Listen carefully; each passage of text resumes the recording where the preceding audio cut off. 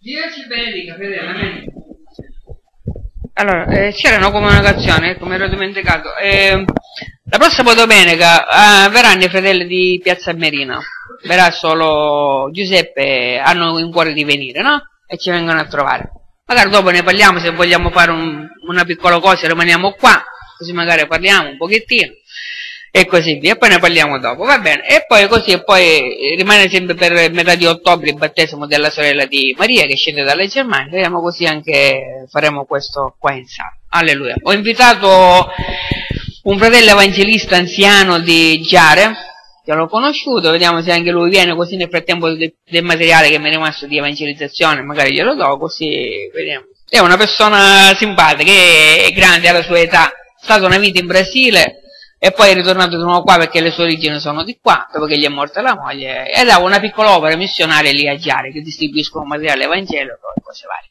Gli abbiamo parlato del messaggio, così ho avuto opportunità quando c'è stato il funerale della moglie di, del fratello Tore, anzi salutiamo, qualche volta l'ho chiamato, ogni tanto gli chiamo, mando qualche messaggio, ma anche lui sarà impegnato, e così via. E niente, vediamo se, se Dio piacente avremo anche come ospite questo caro, questo caro fratello anziano. Ok, Signore ci benedica, fratelli, io volevo dire solo una cosa. Che se non fosse stato per questo messaggio, fratelli, che ci ha mandato il profeta, saremmo tutti in mezzo a una strada. Sinceramente. Perché in questi giorni, mentre che ho avuto un po' di libertà, ho voluto fare un giro così su internet, sulle chiese che ci sono qua nel nostro, nella nostra zona, su, per vedere che, che cosa gira e cosa si predica, no? Fratelli, purtroppo senza questo messaggio, ragazzi, siamo completamente all'oscuro con tutta la loro buona volontà di portare messaggi e cose, sembriamo, sai, sembriamo in studi di Visto College, presente. Perché la predicazione è il Signore, Signore ha un piano con te, ha un progetto con te, il Signore vuole fare qualcosa con te, ma se noi andremo là e dici il Signore ha fatto qualcosa per noi e si è usato di qualcuno, lo prendono per il diavolo. Perché nessuno come noi che venendo quando Dio si è mosso, si è mosso con i segni del profeta, fratello. E il profeta ci ha spiegato veramente chi è il figliolo di Dio e purtroppo chi non è. Oggi vedremo veramente delle cose belle attraverso, questa volta facciamo parlare il messaggio, il profeta. Le sette coppe del tempo della fine. Guardate quante cose il profeta ha detto nel messaggio. Sapete voi su questo, per chi leggi, per chi l'ha letto, sapete cosa diceva il profeta sulle sette coppe? Lui aveva in cuore di predicare queste sette coppe.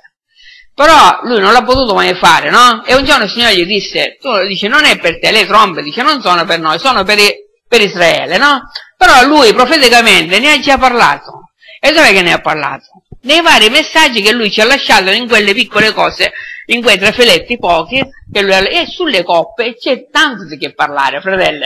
Oggi, Dio piacendo, ci rallegreremo. Che il Signore ci benedica, bene, e ci fa stare saldi, perché, fratelli, sinceramente, fuori da questa verità c'è solo buio. Alleluia, c'è solo buio. Ringraziamo il Signore che ci ha dato una luce, ci ha dato un messaggero, ci ha dato un profeta e questo noi lo, lo mettiamo sempre davanti ai nostri occhi. Amen. Perché se non era per questo messaggio, per noi questa Bibbia sarebbe stato sempre un libro chiuso. Alleluia. Ok, Signore ci benedica. Allora andiamo con la prima diapositiva. Allora, eh, eh, ogni tanto mi piace andare a vedere che cosa si sta muovendo in Israele per il terzo tempio, no? Guardate, allora, guardate qua hanno creato un partito di destra che è pro-tempio. E infatti già i sondaggi lo portano che ora il 17 settembre si voterà di nuovo in Israele, ci saranno votazioni. Cioè lì il nemico pubblico di Israele è Netanyahu. Cioè, guardate cosa. Cioè, Dio ha messo quest'uomo, Beniamino, cioè neanche a fare la posa si chiama Beniamino. Sappiamo che l'ultimo gruppo che il fratello Brano parlava, dice il gruppo di Beniamino, no? Che sono i 144.000, era il più piccolo era più piccolo dei fratelli dei, dei dolci. Quindi, allora, tutti i principali sondaggi confermano il partito del terzo tempio. Chiamato il partito del terzo il partito pro terzo tempio, perché loro vogliono battere per costruire il tempio, no? Allora, nel Parlamento di Israele dopo l'elezione si pensa che avrà 4-5 seggi.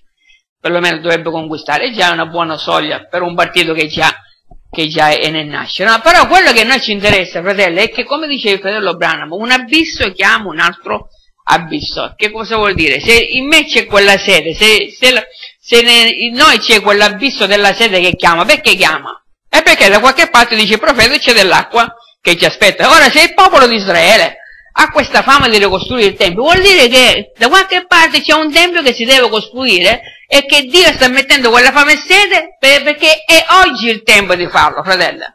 Quindi sappiamo che quando ciò comincerà, la Chiesa se ne andrà. Quindi ancora vediamo da questo che il tempo è vicinissimo. Allora, lo diciamo ogni domenica. Ma sapete, infatti riflettevo su questo. Perché noi sempre puntiamo sulla fine dei tempi, fratelli? Perché la fede rapidice.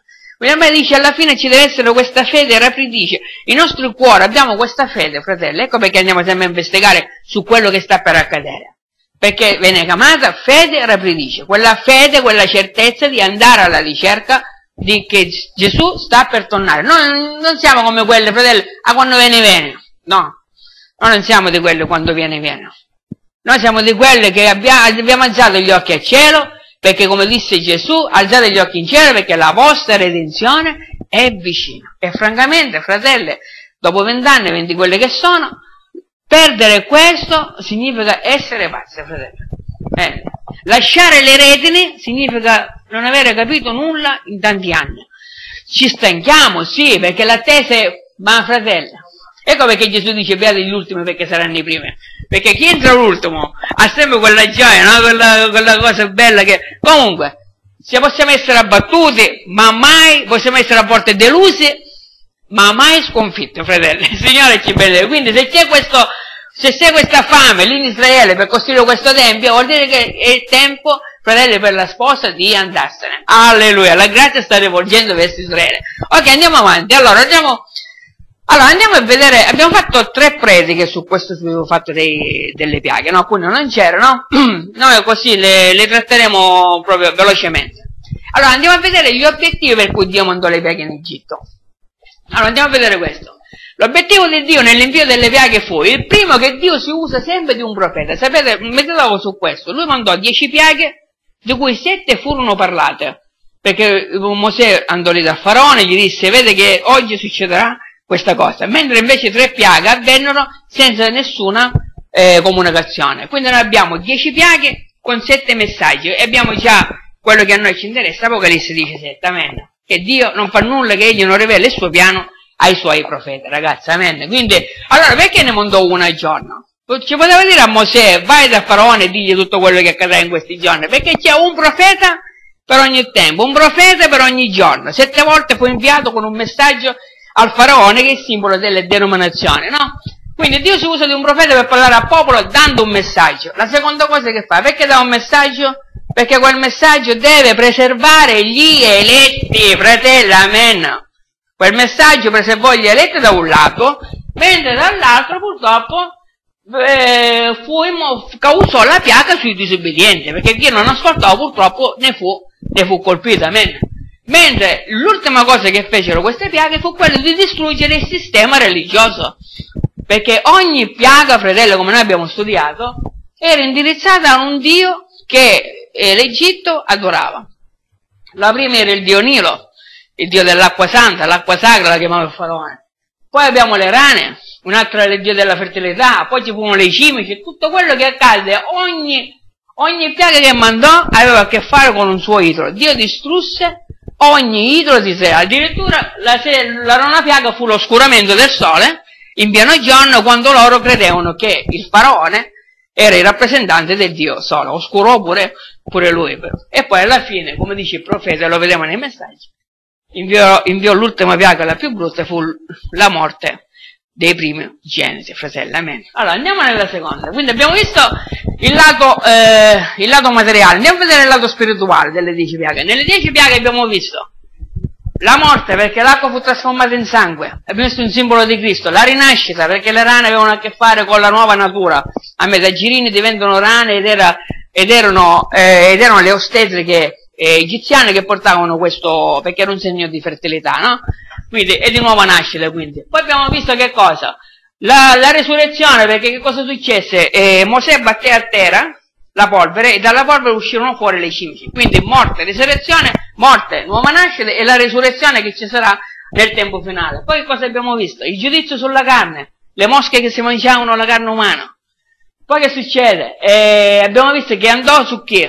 Le bolle che si rivestarono su chi? Su coloro che avevano il marchio della bestia come noi abbiamo poi studiato, no? Sono tutti i simboli che noi abbiamo visto spiritualmente in quello che succedeva. Poi Poi fu riversato su che cosa? Sulla chiesa. Perché? Abbiamo visto la piaga, del, la piaga delle cavallette. Vi ricordate che dice Amos? Io vi, io vi restaurerò dalle annate che hanno mangiato la cavalletta, i blu e così via, no? E poi alla fine abbiamo visto l'oscurità del sole abbiamo visto la, la, la libertà. Quando ci fu l'ultima piaga, che fu la Pasqua, ci fu questa liberazione. Ok, andiamo avanti. Queste sono le prime due storie che abbiamo noi fatto, i primi due studi, e poi andiamo a quella di domenica, la coppa della gelosia, fratelli. Questo messaggio è stato bello, fratello, è stato bello perché innanzitutto non c'è riscontro in Italia se qualcuno abbia scritto su questo di qua, no? Quindi è già una cosa bella che Dio rivela ancora, ancora rivela sempre acqua fresca, fratelli. Sono sempre cose belle. Poi unito al messaggio è ancora più bello, fratelli, perché non c'è riscontro. Eh? Amen. Quindi allora, nella Coppa delle gelosie cosa abbiamo visto? L'obiettivo di Dio fu dimostrarci che la Coppa che, si, che ci accusava ora è nelle mani di Cristo, ancora oggi quella Coppa, fratelli, è nelle mani di Cristo, amen. Quando quella, la grazia finirà, la Coppa abbiamo visto che è ritornata dopo nelle mani della grande prostituta, amen, e di nuovo là, vedete, quella Coppa è di nuovo là. Lei ne berrà, gli ha fatto bere a tutti e tutti vengono giudicati perché dice le acque divennero amare. Amen. Quindi il mondo passerà per la tribolazione. Amen. Dio ci benedica. Ora invece andiamo a questo messaggio, passaggio del profeta. Quindi le sette coppe del tempo della fine spiegate dal profeta William Brown. Allora andiamo a vedere, fratello, andiamo con la prima cosa. Andiamo a vedere cosa dice il profeta in alcuni passaggi, perché lui era ansioso di poter parlare su questo. Allora, in un fetto per l'uomo che pensa, del 65, quindi siamo alla fine del ministero, ad agosto. Sto ansiosamente aspettando l'ora in cui possiamo unirci tutti in un luogo e predicare su queste sette piaghe, sulle sette coppe, le trombe e così via. Avvengono tutti proprio in un gruppo. Questa è la ragione per cui ci occorrerà, occorrerà circa una settimana, diceva il profeta, dieci giorni o più, per finirle in una sola riunione, se possiamo. Penso sia proprio necessario. Quindi il fratello Brano aveva questo desiderio di parlare su questo. Però purtroppo non l'ha mai potuto fare, ma Dio gli disse che benché lui non avesse predicato perché era per Israele, ma già profeticamente nel messaggio non ne, ne ha parlato. Amen. Allora, andiamo avanti, vediamo. La predicazione è il secondo suggello del 63. Molto bene, ora fate attenzione, il diciassettesimo capitolo dell'Apocalisse. Cercate di aprire tutto il cuore e lasciare che lo Spirito Santo vi insegni. E uno dei sette angeli che aveva le sette coppe viene, eh, venne, Ora vedete le sette coppe, dice, conoscete queste sette che stiamo per esaminare? Tutti avvengono proprio nello stesso tempo, seguono le piaghe, le epoche della Chiesa allo stesso modo, perché è tutto suggellato in quel libro, ogni cosa avviene in successione, e una si addentra nell'altra, e questa altra in un'altra. I due spiriti stanno parlando, dice Dio e il diavolo, e mi parlò dicendo, vieni, io dimostrerò il giudizio della grande meretrice che siede molte, su molte acque. Quindi ancora il fratello Brano ribatte su questo punto, no? Dice questo è un insegnamento bello perché attraverso nelle epoche ci sono le piaghe, ci sono le trombe, tutto è dell'insieme, amen. Tutto è sigillato, alleluia, andiamo avanti. Ecco perché le, le chiese non lo trattano, fratelli, perché non hanno ancora questo libro di sigillato. Io mi ricordo, quando frequentavo le chiese, che quando si parlava di Apocalisse, fratelli, L'unico brano che si prendeva era Apocalisse 3.14. Tu non sei né freddo né caldo. Mi ricordo questa espressione di Apocalisse dell'epoca della Odissea, predicavano solo su quello, ma su tutto il resto, fratelli, è stato sempre un tempo. Ringraziando il profeta abbiamo noi eh, Rivelazione capitolo 4, il trono, i 24 anziani, Apocalisse 5, i sigilli svelati, perché questo era il tempo di farlo, fratelli. Infatti, come dice Apocalisse 1, beato dice chi gustò, chi ha che custodisce i parole di questo libro. Amen. Mentre per morto questo libro è rimasto tabù, fratelli. Alleluia. Quindi, allora, allora, andiamo al settimo sigillo del 63. Prenderemo ora il primo versetto dell'ottavo capitolo dell'Apocalisse, dice il profeta. Dobbiamo ricordare che questo settimo sigillo è la fine del tempo di tutte le cose. Proprio così, delle cose scritte nel libro del settimo sigillo, sigillate con il piano di redenzione prima della fondazione del mondo. Ogni piccola conclusione è la fine, è la fine del mondo tormentato, è la fine della natura tormentata, è la fine di tutto, è la fine delle trombe, è la fine delle coppe, dice è la fine della terra, eppure è la fine del tempo. Il tempo è scaduto, la Bibbia dice così. Amen. Allora andiamo avanti, andiamo a vedere ora questo. Allora, nelle, nelle epoche della Chiesa, nell'introduzione, Fedele Romano dice questo. Questo è necessario per studiare e comprendere il resto della rivelazione, poiché fuori dall'epoca arrivano i sigilli, fuori dai sigilli arrivano le trombe, dalle trombe arrivano le fiale o le coppe.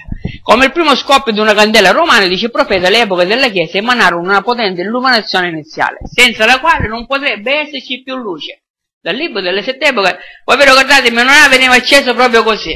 Si accendeva dal fuoco sacro la prima luce, e poi attraverso la prima luce si accendeva la seconda, seconda perché la stessa, vedete, il fuoco è uno, amen. C'è un solo Vangelo, un solo battesimo e un solo Dio. Da lì quella luce si è propagata per tutte, lo stesso messaggio, fratello, da Paolo fino a, al profeta del nostro tempo. Amen. Allora, andiamo avanti. Allora, si parla di ira di Dio, fratelli. Ora andiamo a vedere questo concetto che noi troviamo in Romano 1,18, perché è forte. Senza rivelazione, fratelli, non lo possiamo capire. Allora, Romano 1,18, Paolo parla ai Romani e a tutta la Chiesa e anche a noi fino ad oggi di ciò che cosa vuol dire l'ira di Dio quando l'uomo rigetta Dio, quello che avviene. Allora, allora perché l'ira di Dio si rivela? Ora, il verbo usato qua si rivela e Apocalisse che vuol dire viene resa nota e viene scoperta. Quindi l'ira di Dio qua dice viene rivelato.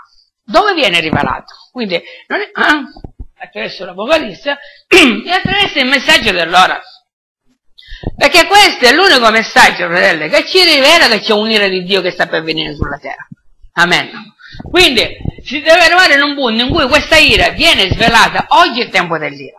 Oggi non siamo sotto un messaggio di giustificazione, un messaggio di loderia, ma siamo sotto questo messaggio che ci sta spiegando a noi cosa vuol dire essere sotto l'ira di Dio. Quindi, perché l'ira di Dio si svela, quindi si resa nota, dal cielo sopra ogni impietà, che sono gli empi? Quelli che sono privi della reverenza di Dio.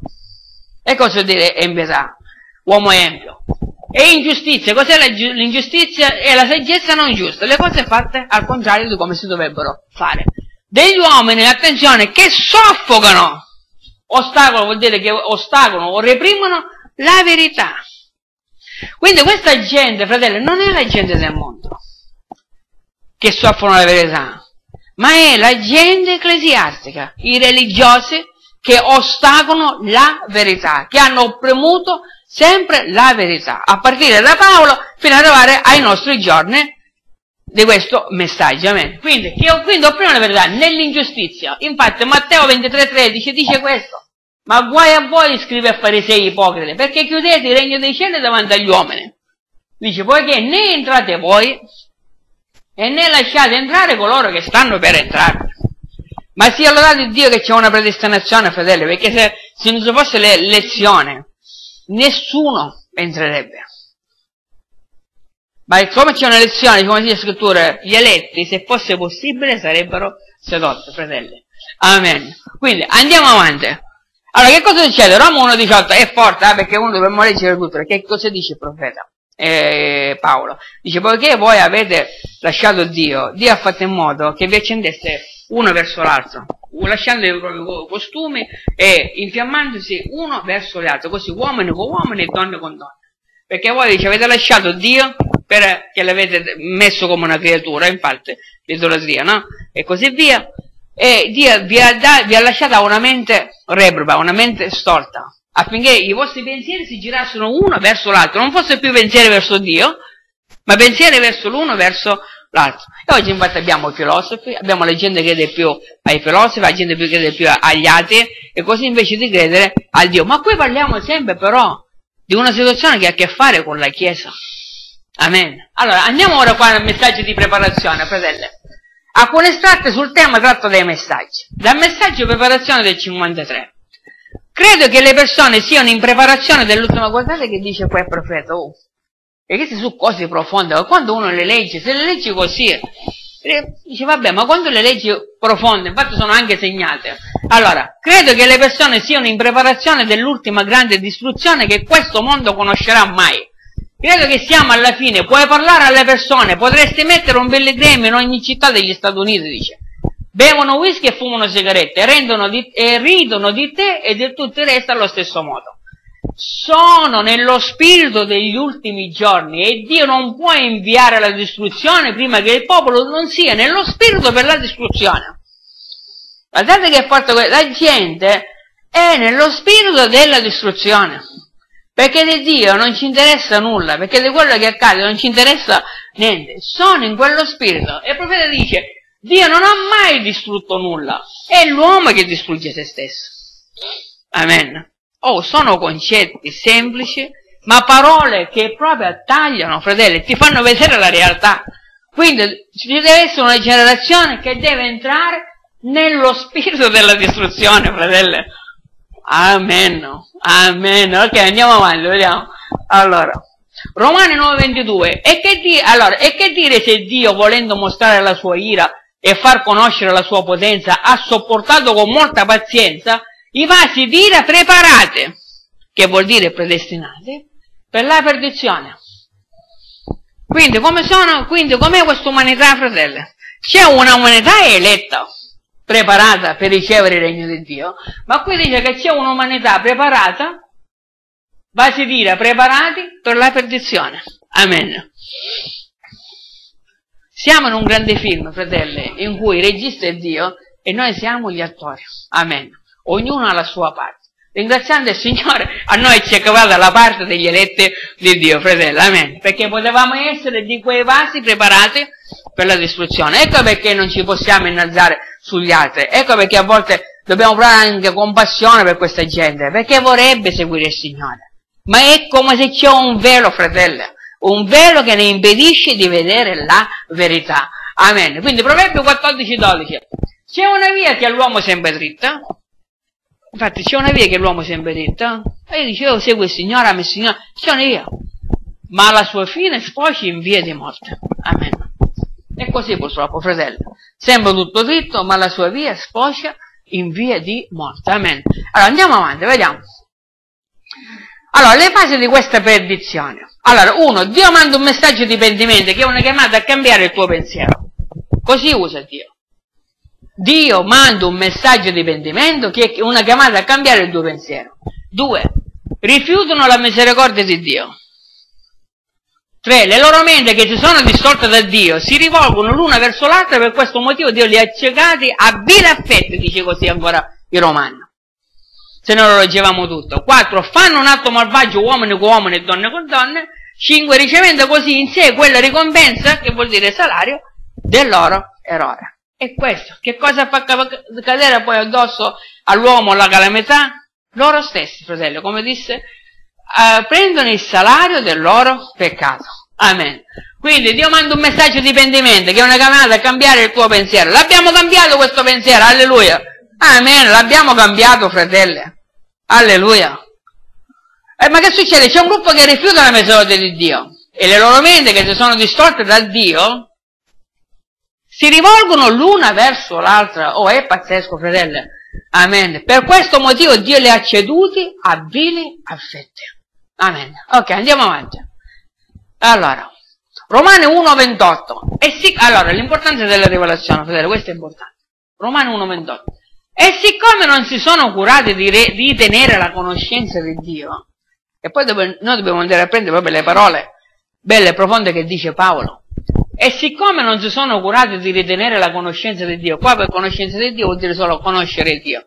Conoscenza ha a che fare con rivelazione. E siccome non si sono curati di, di ritenere la rivelazione di Dio, amen. Il Dio li ha abbandonati ad una mente reproba perché facessero le cose che sono sconvenienti. Vedete? Amen. Il Dio. Perché? Perché non hanno accettato ciò che il Signore sta facendo per te oggi, ora, in questo tempo in cui noi stiamo vivendo. Amen. Allora, andiamo avanti, l'importanza della rivelazione. Quindi l'ira di Dio è scritta in Apocalisse. Allora, Apocalisse 15.1, quindi, e vedo un altro segno in cielo grande e meraviglioso, sette angeli che avevano le ultime sette piaghe. Questi in esse si riempie l'ira di Dio. Abbiamo parlato l'ira di Dio. Ora la vediamo in Apocalisse manifestata. Amen. Apocalisse 15.7 è una delle quattro bestie diede ai sette angeli, sette fiale d'oro, piene dell'ira di Dio che vive nei secoli dei secoli. Dove sono queste sette ire? In fiale di d'oro, oppure coppe. Apocalisse 16.1 dice, e udì una gran voce dal Tempio che diceva ai sette angeli, Allora, guardate che bella questa espressione, questa l'ho presa dalla Bibbia King James, è diversa dalle nostre Bibbie. Allora, Apocalisse 16.1, e udì una gran voce dal Tempio che diceva ai sette angeli. In quella nostra c'è scritto, andate e, rivestate le fiale dell'ira di Dio sulla terra, no? Invece in quella della King James dice questa, segui le tue vie e riversa le fiale dell'ira di Dio sulla terra. Pace, fratello. Quindi guardate che è diverso il coso. Allora, perché poi lo vediamo quello che dice il profeta. Dice, dice ai, sette, ai sette angeli, seguite ognuno la sua via. I sette angeli sono i sette messaggeri. Amen. Seguite ognuno. Allora, dopo ogni messaggio, ora il profeta spiega una cosa. Quindi, seguire la sua via che cos'è? Andate per il messaggio del vostro giorno, ognuno con il suo messaggio. Avete, queste, avete il messaggio, ma avete pure la piaga. Amen. Seguite, quindi, le vostre vie e riversate le fiale dell'ira di Dio sulla terra. Salmo 103,7 dice così. Egli ha fatto conoscere a Mosè le sue vie e ai figli di Israele le sue opere. Amen. A Mosè ha fatto conoscere le sue vie e al popolo ha fatto conoscere le sue opere. Amen. Allora, andiamo avanti. Allora, l'ordine delle piaghe descritte nel messaggio. Guardate ora che dice qua il profeta. Sul primo sigillo del 63 ha inviato il primo messaggero e ha predicato. E la tromba suonava e poi la tromba stava dichiarando guerra. La tromba indica sempre guerra. Il messaggero, l'angelo viene sulla terra, il messaggio dell'ora. Come quello di Lutero, come uno dei messaggeri di cui abbiamo parlato. Cosa fa? Arriva e un sigillo si apre. Rivela, suona una tromba. La tromba che cos'è? È il messaggio. Ora, a volte la gente, e su questo sbaglio, no? quando si parla di Apocalisse 17 dice non è il fratello Brano perché lui non suona la tromba dice guardate ma qua il fratello Brano parla proprio che ogni messaggero sta suonando la tromba la tromba che cos'è? è un messaggio dal momento che tu emani questa tromba dice il profeta dice la tromba è anche una guerra perché dal momento che tu parli si apre una guerra perché il messaggio cozza contro la tradizione religiosa questo è quello che avviene quindi Cosa fa? Arriva un sigillo, si apre, rivela, suona una tromba, dichiara la guerra e se ne vanno. E poi il messaggero muore, sigilla via quel gruppo, sono messi da parte e una piaga cade su coloro che l'hanno respinta. Quindi vedete, la coppa e il messaggio. Quindi hanno la tromba e, la coppa, perché dopo che se ne vanno una fiala colpisce l'umanità. Ma ora poi spiega altre cose il profeta. Eh? E poi continuano, poi si organizzano, prendono un'altra organizzazione e così via. Allora andiamo avanti, quindi. Allora, ora il profeta dice qua, sempre nel primo sigillo del, del 63, le ho sbagliato, 53, dice questa, ecco il piano di ciò. Profeta spiega il piano. La prima cosa che si verifica c'è un annuncio nei cieli prima. Che cosa accade? Un sigillo viene aperto. Dice di che si tratta? Un mistero è spiegato. E quando il mistero si spiega, allora una tromba suona. Essa dichiara una guerra. Una piaga si riversa e si apre un'epoca della Chiesa. Vedete? Perché cosa avviene alla guerra? l'angelo della Chiesa, prende il mistero di Dio ancora non pienamente rivelato. Perché noi sappiamo che per esempio Lutero non per tutta la verità, Joe Wesley non per tutta la verità, e altri uomini non per tutta la verità. Amen. Ma per una parte di quella verità, infatti dice ancora non pienamente rivelato, ma quando lo fa, prende questo mistero di Dio e allora si va avanti verso il popolo. Che cosa fa là fuori? Comincia a proclamare quel messaggio, che cosa inizia una guerra? Una guerra spirituale. Amen. Allora andiamo avanti, vediamo. Allora, giriamo un attimo. Allora che dice nel primo sigillo del 63? E poi Dio prende il suo messaggero con gli eletti di quell'epoca e li addormenta. E poi lascia cadere una piaga su coloro che la respingono. E allora guardate come lo chiama? Un giudizio temporaneo.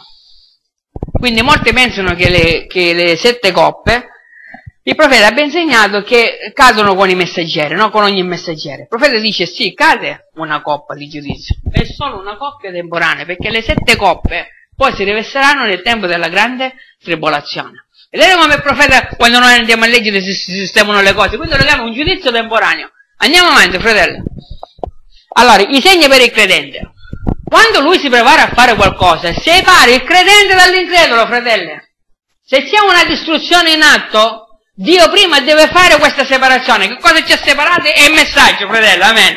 Alleluia. Quindi, e notate allora come lui provvide il popolo della terra promessa. Guardate cosa fece là per il suo popolo della terra promessa, per essere certo che non si mescolassero con alcun ismo, che cosa fece lui? Mandò loro un profeta, Mosè con un messaggio che identificava la parola di Dio. E per identificare Mosè gli diede pure la colonna di fuoco. Amen. Che stava sospeso su di lui. Amen. Quindi, per dargli la certezza perfetta, lui richiedeva un segno. Amen. C'è un messaggero, un messaggio, c'è la rivendicazione e il segno, la certezza perfetta che non si dovevano preoccupare di nulla. Guardate, e questo vale ancora per oggi. Fratelli, non ci dobbiamo preoccupare di nulla. Amen. Non importa quanto piaghe colpiscono, né cosa dice chiunque altro di esse. Essi sono suggellati via. Siamo messi a parte. Amen. Siamo suggellati. Non abbiamo bisogno di preoccuparci di nulla. Alleluia. Quindi, il segno per il credente. Andiamo avanti.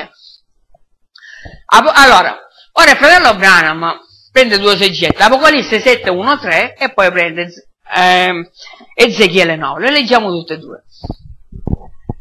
Apocalisse 7, 1, 3 dice questo. Dopo questo vide i quattro angeli che stavano in piedi ai quattro angoli della terra e trattenevano i quattro venti della terra perché non soffiasse sulla terra né sopra il mare né sugli alberi. Poi vide un altro angelo che saliva dal sollevante, quindi dall'est, il quale aveva il sigillo di Dio vivente, e a gran, a gran voce gridò ai quattro angeli, ai quali era stato concesso di danneggiare la terra e il mare, dicendo, non danneggiate la terra, né il mare, né gli alberi, finché non abbiamo segnato sulla fronte con il sigillo i servi del nostro Dio. Qui sappiamo che è la chiamata dei 144.000. Prima che questi vengano chiamati, dice, non fate nulla. Dice, amen. Allora, andiamo avanti. E andiamo ad Ezechiele 9.4, dove, che succede? Dio manda un angelo a passare in mezzo a Gerusalemme. E dice così. Passa in mezzo alla città e in mezzo a Gerusalemme e fa un segno sulla fronte degli uomini che sospirano e gemono per le abominazioni che si commettono in mezzo a lei. Agli altri, in modo che io sentissi, disse, passate per la città dietro a lui e colpite il vostro occhio, non abbia pietà e non abbiate compassione, uccidete e sterminate vecchi, giovani, vergini, bambini e donne, ma non avvicinate ad alcuno che porti il segno Cominciate dal mio santuario. Esse cominciarono da quegli anziani che stavano davanti alla casa. Amen. Questa fu una visione che Dio diede ad Ezechiele. Questa visione poi si adempì lo diceva il profeta. Dove? Lasciamo parlare il profeta. Amen. Quindi, domande e risposte in ebrei. Dice così, fratello Brano, parte 1. Vediamo Rivelazione nel settimo capitolo e scopriremo qui ora dove cosa ha detto è una cosa bellissima, dice. E dopo questo dice, ho visto quattro angeli in piedi sui quattro angoli della terra. Questa è in parallela ad Ezechiele 9, dice il profeta, dove ho visto la distruzione degli ebrei. E qui vede la distruzione dei gentili, rivelazione settimo capitolo. Ho visto quattro angeli in piedi sui quattro angoli della terra che reggevano i quattro venti. Il vento significa conflitti e guerra. Quindi, che il vento non dovrebbe soffiare sulla terra né sul mare e né su nessun albero. Ora questa è una guerra tenuta, dice. Amen. Andiamo avanti. Nella predicazione delle dieci vergini del 60 ancora il profeta dice questo. Ma vedi e poi tutta Gerusalemme fu distrutta. Ora questo qui è perfettamente un parallelo di Rivelazione 7. Ora guarda, dal tempo in cui Tito assediò Gerusalemme nel mondo non c'è stato mai nella storia in tutto il mondo una guerra fino al 1914. Infatti le nostre guerre ultime come sono state chiamate? Abbiamo avuto guerre di indipendenza, le guerre franco, franco-inglese e così via, ma mai guerra mondiale. Quando si è mai parlato di guerra mondiale? Dal 14 e quella del 40 e infatti dice trattenete i venti affinché non soffiano venti sui quattro angoli della terra, perché quasi tutto il mondo conosciuto era in guerra. Vedete ancora quanto poco manca, fratelli. Quindi, allora andiamo avanti, giriamo un altro messaggio. Domande e risposte sempre del 54. Ora, sui quattro angoli della terra, trattennere i quattro venti. Ma fino, prima, ma fino alla prima, guerra mondiale, trattenendo i venti, e si stavano sforzando, entrando per prendere il controllo. E ora ecco un altro. Ora, se guarderai e ti rifarai a quell'angelo, è lo stesso angelo che esce da Ezechiele 9. Vado a mettere in paralleli due angeli, quello di Apocalisse 7 e Ezechiele 9. Quando gli uomini vengono e attraversano Gerusalemme per massacrare gli ebrei, ti ricordi, disse, tienilo, tienilo finché non attraversa la città e mette un segno su ogni fronte che sospira e piange per gli abomini della città. Questa fu la persecuzione sotto Tito. Ecco quello che visse Ezechiele. Quello che vide Ezechiele fu la distruzione che Tito portò poi ai tempi di Gesù, dove, dove i romani entrarono e non, non risparmiarono né bambine, né fanciulle, né vecchie e così via. Vedete, quella fu la persecuzione sotto Tito. Lo stesso angelo che viene di nuovo fuori proveniente da est, da dove verrà Gesù, e ha, sigilla, e ha il sigillo del Dio vivente. Gloria, dice il profeta. Amen. Quindi, alleluia. Ezechiele 9,4,6 passa in mezzo alle città, allora, dice così, passa in mezzo alle città, l'avvertenza per il giudizio l'ho scritto. E dov'è che si doveva cominciare? Cominciate dal mio santuario. Perché il giudizio parte sempre dalla casa di Dio. Ora, per santuario non vuol dire solo il, tempo, vuol dire solo il gruppo dei messaggi, ma noi sappiamo che quando si parla di epoca delle chiese, Pedro Pelle dice Dio parla a tutti e due i gruppi, ai salvati e non salvati. Quindi parte da là, fratello. Il giudizio si comincia dalle chiese. E infatti, come dice lì in uh, Apocalisse 3, dice, ecco, io sto per buttare lei con tutte le sue figlie in una grande tribolazione. Amen. Ok, andiamo. Nella voce del segno, dice questo il profeta, l'arrivo di un profeta è un segnale di avvertimento che il giudizio ha portato di mano, fratello, lo è sempre stato. Vorrei solo citarne uno, dice, guarda Noè che sorge nei giorni del mondo diluviano. Era un profeta, dice. E cosa è successo? Il giudizio ha colpito subito dopo. Dice, guardate Mosè andò in Egitto, un profeta rivendicato con i segni di profeta. Che cosa successe? Un giudizio colpì l'Egitto. Elia viene sulla scena e profetizza ad Agabe a quella nazione. Cosa succede? Un giudizio è colpito subito dopo. Amen. Allora andiamo a vedere. Ecco, ecco perché c'è bisogno di un profeta, fratelli. Alleluia. Un altro messaggero arriva sulla allora, i diversi tipi di piaghe. Ora qua il profeta parla nei messaggi che cosa sono le piaghe. O lui spiega che una piaga può essere una guerra, può essere un problema con la natura, un terremoto, no? una pestilenza e così via. Ma ora poi spiega un'altra cosa il profeta. Guardate, un altro messaggero arriva sulla terra per un'epoca della Chiesa. Quindi quando arriva la tromba suona, dichiara guerra e poi che succede? Alla fine viene preso. Dio non lo prende, no? Poi quando viene messo da parte, la caduta della peste li distruggono. Quindi qua spiega un'altra cosa il profeta. Non la chiama coppa, una fiala o piaga ma la chiama peste. Allora, la morte spirituale colpisce le chiese e lei se ne è andata con quel gruppo, quindi passa poi ad un altro. Allora, andiamo avanti perché voglio far vedere un'altra cosa che dice il profeta. Nella settima epoca predicata del 54, il profeta Rubano dice questo. Quando la prima guerra mondiale, perché questa sesta tromba suonò esattamente secondo il tempo in cui Dio ne parlò, allora, esattamente geograficamente dice, seguendo il sigillo prima di quello. E quando il mistero fu rivelato, rivelato lì dentro per il battesimo dello Spirito Santo e poi per il popolo, come la Chiesa non salì e quelle che si muovevano si rifiutarono di camminare nella luce e tornarono indietro, e la peste fu aperta in quel momento e si riversò sulla terra, che era l'influenza. Ora parla che una di queste piaghe è stata pure l'influenza. Ora, andiamo, allora, il profeta, quello, siccome giustamente è parlata la predicazione, poi lui si ferma, di nuovo prende, quindi dobbiamo capire, allora il profeta che dice, in quella prima guerra mondiale è cominciata per come doveva iniziare, dice no? Così come anche quando un profeta viene e se ne va, la piaga segue, perché quel gruppo non si è voluto raddrizzare alla parola, allora Dio manda una piaga. Ora, che succede? Non è un caso che la prima e la seconda guerra mondiale, fratelli, ha colpito l'Europa. Perché ha colpito l'Europa quando? Quando Dio si è rivolto agli Stati Uniti d'America. Quando Dio cominciò con Paolo in Asia poi si spostò in Europa con chi? Con Ireneo, con Martin Lutero, con Giovese, quindi tutta l'Inghilterra, con Martino, quindi ha preso tutta l'Europa, con, Lu- con Lutero in Germania e così via. Quando lasciò l'Europa, Dio li abbandonò alla prima e alla seconda guerra mondiale, fratello. Ci rese un giudizio, mentre Dio fece prosperare l'America, infatti fino ad oggi l'America prospera. Amen. Dopo questo messaggio si è rivelato. Alleluia. Ma, ma anche essa, ora che ha rigettato il messaggio, però anche lei è punita, dice il profeta, neanche lei scamperà. Vedete? Perché il giudizio parte dalla casa di Dio, come abbiamo letto, no? Quindi, allora, che cosa dice? Essi li hanno rifiutati, cosa ha fatto? Una piaga si riversò sulla terra. Un'influenza. Che uccise tutte le persone mentre lo faceva, migliaia e migliaia. E poi scendendo in quest'ultima epoca dove siamo qui, e, vie, e viene, dice, allora dice il profeta dice questo. Allora vieni e ascolta ciò che il Signore ha da dire riguardo alla sua parola, fratello. Dice allora venite, dice non vi distogliete e guardate cosa Dio vi sta dicendo. Amen. Allora andiamo avanti, quindi un'influenza, fratelli. Allora andiamo avanti, quindi, allora ho scritto qua, il fratello che ha fatto questo schema, no? Ha fatto vedere come piaghe di, come piaghe di distruzione e di influenza hanno colpito l'Europa durante i messaggi delle epoche che ci sono state. Guardate, ai tempi di Paolo sappiamo che l'ira di Dio si riversò su che? Su Israele. Quindi Gerusalemme venne distrutta, ma ci fu un'altra distruzione anche forte, che fu quella di Pompei. Ricordate, quel grande terremoto che distrusse quella grande città a Napoli. Quindi allora, poi venne Ireneo e ci fu, un, ci fu la piaga bubonica, fu quella peste, che colpì anche l'Asia e fu, fece un sacco di morte. Vedete, dove seguono i messaggeri ha seguito poi una piaga. Ah, poi a Pergamo, che cosa succede? In quel tempo dell'anno 457 gli Unni saccheggiano l'Europa.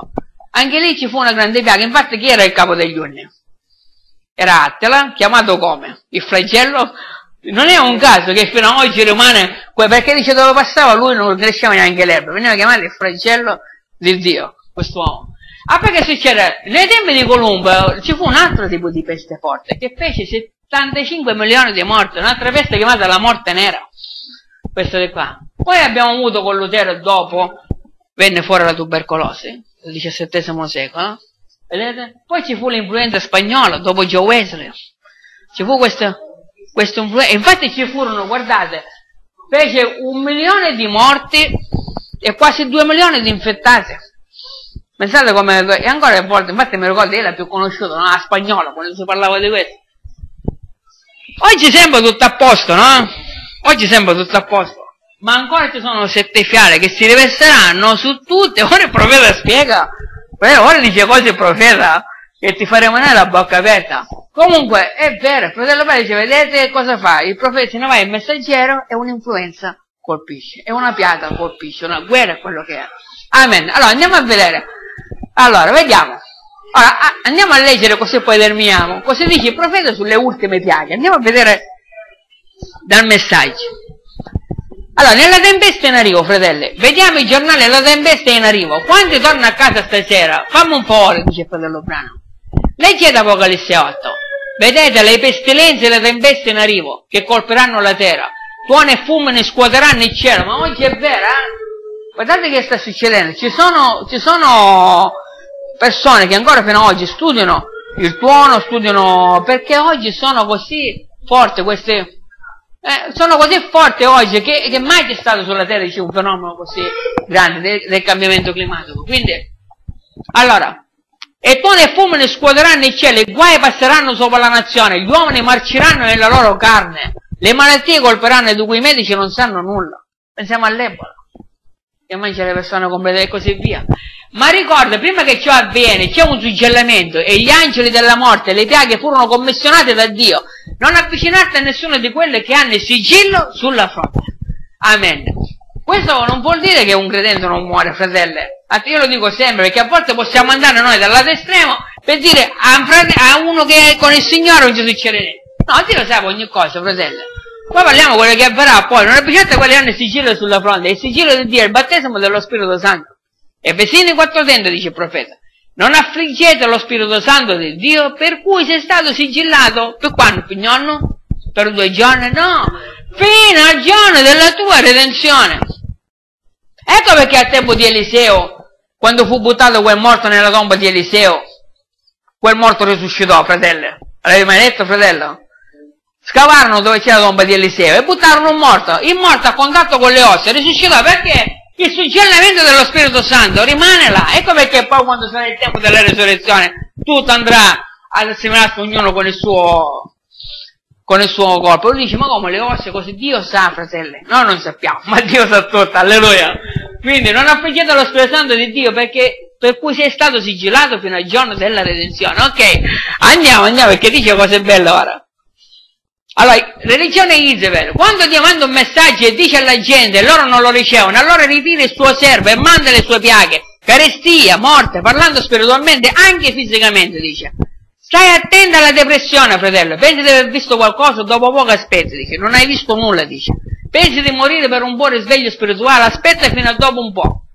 Devi solo aspettare a lungo e piangere per ascoltare la parola di Dio. Fratello, ora spiega una cosa importante. Una di queste cose come carestia non è una carestia solo di pane come vediamo nel mondo, ma parla di una carestia che negli ultimi giorni ci sarebbe stata, come disse il profeta, che non è di pane e di acqua, ma di ascoltare la parola di Dio, fratelli. Ma noi ringraziando il Signore, siamo in quel perché attraverso questo messaggio stiamo ascoltando e stiamo veramente viaggiando e camminando su questo, amen. E non solo per pane e acqua, ma per ascoltare la vera parola di Dio. Ma quella voce sarà calma nel deserto, da qualche parte, nascosta. Amen. Ok, giriamo, vediamo. Allora, dal messaggio Israele a Marosso. Ora stiamo arrivando all'ultima piaga. Ultima cosa Dio disse, sono stanco, vado a dare l'ultima piaga. Ora voglio che te ne accorga, dice. Questo è come se Dio parlasse con il faraone, no? L'ultima piaga fu la morte. Ora abbiamo avuto terremoti, abbiamo avuto guerre, voci di guerra, abbiamo avuto maremote. Il cuore dell'uomo che cedeva per problemi cardiaci, paura, perplessità del tempo, angoscia dalle nazioni, ma l'ultima piaga è la morte. Non parlando fisicamente, dice.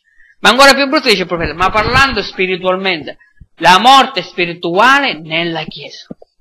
Notate che era tra i figli la morte spirituale. La Chiesa più membri di quanto abbia mai avuto, prosperando meglio di quanto abbia mai fatto, eppure più debole di spirito, eppure più debole di spirito che ci sia mai stata. È vero, è proprio come di fatto, dice qua il profeta. Ah no, è come in Egitto, scusate, è come in Egitto, amen. Vedete?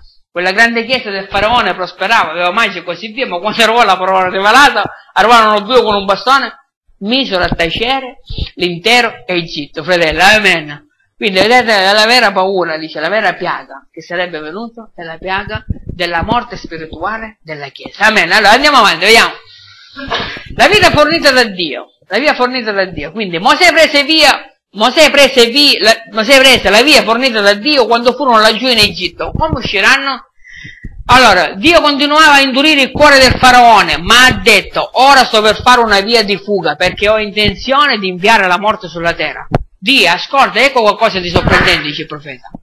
Guarda, peste dopo peste dopo peste. Vedete? E il fratello Evangelo dice peste dopo peste dopo peste. Peste bubonica, peste spagnola, peste a destra, peste a sinistra. Vedete? Ma l'ultima peste caduta fu la morte, poco prima della liberazione. E l'ultima cosa, Dio ci ha dato avvertimento dopo avvertimento, avvertimento dopo avvertimento. Ora l'ultima cosa è arrivata è la morte, la morte spirituale. Le chiese stanno morendo spiritualmente, fratelli. Perché non più accettano veramente, non si parla più del ritorno del Signore. Siamo, siamo in pochi, fratello. Amen. Che si parla più del ritorno. Perché hanno perso questa, ormai si parla di sistemare il mondo. Ormai si parla di avere un posto all'ONU, ormai si parla di avere come capo spirituale il Papa, queste hanno completamente cambiato rotta, fratelli. Amen. Alleluia. Quindi le chiese stanno morendo spiritualmente. Alleluia. Quindi andiamo avanti. Nelle cinque congiunzioni del tempo dice così, un giorno dice la Bibbia che le cose scoppieranno su questa terra e malattie e cose, tutte le persone saranno afflitte fino a quando la carne macerà su di loro e così via. Ma la Bibbia dice non avvicinarti a nessuno di quelle che hanno il sigillo di Dio nelle loro fronti. Il sigillo di Dio è il battesimo dello Spirito Santo. Ancora qui il fratello Brano lo rivendica. Amen. Allora, passiamo in adozione, dice questo. Guardate che dice qua il fratello Brano. Oggi cosa ci affligge, fratello? Il cancro e la malattia che più dico tutti ci affligge. Guardate che dice il profeta. Pensa che il cancro sia qualcosa? La Bibbia dice che sta arrivando un momento in cui gli uomini marceranno nella loro carne e le poiane mangeranno le carcasse prima ancora che muoiono. Il cancro è un mal di dente per quello che sta per accadere. Il cancro sarà un mal di dente per quello che sta per accadere. Ma ricorda, quel giorno orribile era vietato toccare quelle che avevano il sigillo di Dio. Quello è ciò per cui stiamo adoperando ora, dice. Quello è per cui noi ci stiamo adoperando, fratelli, per entrare ed essere posizionati nel regno di Dio prima che queste orribili piaghe colpiscono, perché siamo qua, fratelli? Perché cerchiamo una posizione nel regno di Dio, amen. Alleluia. Affinché veniamo posizionati, affinché non veniamo trovati con lo storto che quel giorno dirà, ma che sta succedendo? Mentre noi saremo preparati, fratelli. Amen. Allora andiamo. Questo è tempo di preparazione. Rivelazione capitolo 4. Guerra, questa è l'ambientazione della grande battaglia. Il popolo che ha respinto il messaggio di Dio ha respinto lo Spirito Santo il messaggero delle sette chiese, colui che aveva respinto questo messaggio dalla sua grazia, non aveva più nulla, ma il giudizio era pronto, tutto ok.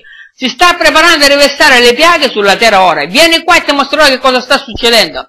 I peccatori senza Dio che respingono Cristo, su di essi riverserò la mia ira, dice il profeta. Amen. Vedete? Ma per questo ringraziamo il Signore. Ecco perché a volte nessuno ci può togliere la nostra posizione, fratelli. Che profeta ci fa vedere da quale parte stiamo. Noi stiamo da quella parte come Mosè, come il popolo, che ha accettato che Dio ha una via, che Dio ha una guida, amen, che Dio ha un piano. Alleluia. Gloria al Signore. Ok, cambiamo, vediamo. Allora, fratelli, una parola sicura e ci lasciamo con questo. Allora, guardate che dice Salmo 91.10. Dice, ma noi possiamo essere trovati in tutto questo, in tutto questo frastuono? L'eletto non ci sarà in questo frastuono. Infatti la scrittura in Salmo 91.10 dice questo. Male alcuno non ti avverrà e piaga alcuna non si accosterà al tuo tabernacolo. Amen. Alleluia. Uh, e poi il Salmo 34,7 è bello che dice l'angelo dell'Eterno si accampa attorno a quelli che lo temono e li libera. Io pensavo questo poco fa. Io mi ricordo quando andava, uh, quando, quante volte abbiamo sentito il fatto che nel 2000 ci sarebbe stata la fine del mondo, ricordate ragazzi? Oh, ma io avevo una grande paura e contavo gli anni, gli mancano 17 anni, mancano 15 anni una grande paura che non so che cos'era, fratello, ma era questo, era la preparazione, fratello. La preparazione, qualcosa mancava in noi. L'abbiamo realizzato con l'arrivo di questo messaggio nelle nostre vite, amen. Ma vedete, la, la nostra, noi, eh, come si vuol dire, è qualcosa che abbiamo fatto inconsciamente. Infatti io non mi rendevo conto perché di questa paura che sarebbe venuta alla fine del mondo. Amen. Oggi ringraziando Dio, lo sappiamo, alleluia. Quindi l'angelo dell'Eterno si accampa attorno a quelli che lo temono e li libera. Atti 13:48, ed è bello, ci lasciamo con questo. I gentili, udendo queste cose, si rallegrarono e glorificarono la parola del Signore e tutti coloro che erano preordinati alla vita eterna credettero, fratelli. Questa è la più bella cosa, il più, più bel grande proposito di Dio, che Dio conosce i suoi. Chi era preordinato a vita eterna ha dato ascolto ed ha accettato. Alleluia. Noi siamo posizionati su, nel corpo, fratelli, non sappiamo in quale posto, ma sappiamo che ci siamo. William Mary diceva, io non so se ci sono, io spero di esserci. Guardate, noi facciamo un salto in più, noi crediamo che ci siamo, fratelli. Amen. Alleluia. Dio ci benedica, fratelli. Amen. Allora, leggendo il messaggio, tante cose sicuramente ancora ci saranno che il profeta dice magari uno poi trova una parola, una cosa. Quindi abbiamo visto queste piaghe, parla di guerre, parla di, di terremoti, di, di pestilenza, amen, di malattie, di così. Veramente bello, fratello. Come il profeta aveva una grande ansia di poterlo predicare, il Signore gli disse non ti preoccupare perché già ne ha parlato ampiamente su tutti i messaggi. Dio ci benedica.